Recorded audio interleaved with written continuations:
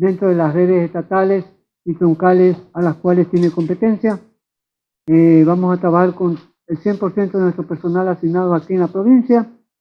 En las redes estatales tenemos dispositivos de controles de forma tal de garantizar la movilidad sustentable dentro de las redes estatales. Contamos para esto con personal, con personal motorizado, contamos con personal de rescate, articulados todo esto con, con el 911.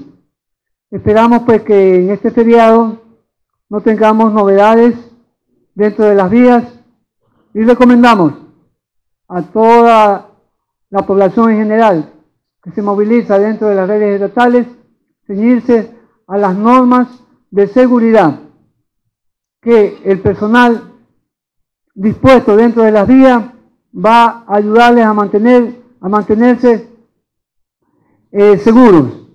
De esta manera, pues, Comisión de Tránsito aporta a la provincia un sistema de seguridad que nos va a permitir mejorar y evitar que existan accidentes que lamentar.